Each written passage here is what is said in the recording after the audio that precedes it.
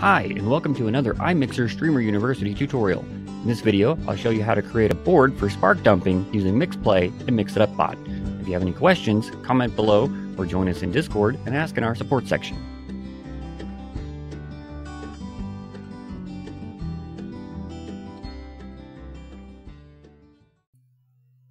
Hi guys, back again with another video here. Um, this was another request. Um, I had a request to do a video on how to do my uh, my spark dump buttons, and these are pretty simple as well. Um, using MixItUp bot, everything's pretty easy once you get the hang of it. Uh, but yeah, we're gonna we're gonna walk through how to make uh, spark dump buttons. Um, if if someone wants, we can also go through the leaderboard uh, tutorial, which is pretty easy. Um, all that does is show the leaderboards I've set up, and I think I actually did this this did this in another video, but this one here, the spark uh, button in the leaderboards, is is in relation to the spark dump buttons. Um, but what you want to do is you can create a separate board for this. I don't personally. Um, I might actually move it to a separate board, but you'll you want to create a, a button. Um, label it whatever the amount you want, and then set it up. Set it up however you want. Basically, just like every other every other button that you have. Um, and then in mix it up, once you refresh them, they show up. You just literally, you can leave them silent.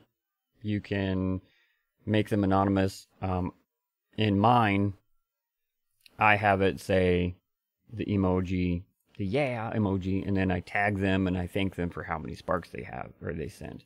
I also have a sound that I like to add, which is cash register. And that's pretty much it. it's really super simple.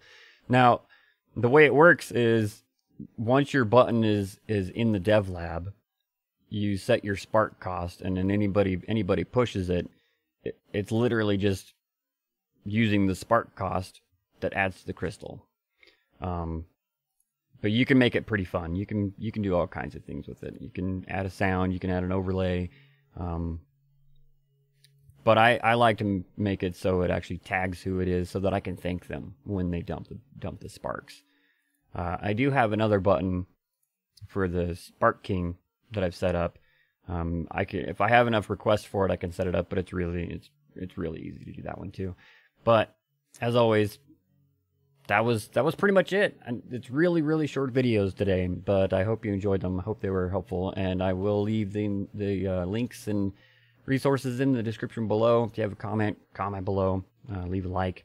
Um, you can always reach out to us on Discord in the iMixer Discord, um, and check us out in the support section. And I hope to see you there.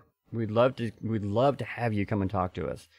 But uh, yeah, I hope this video was informative, and I will see you next time.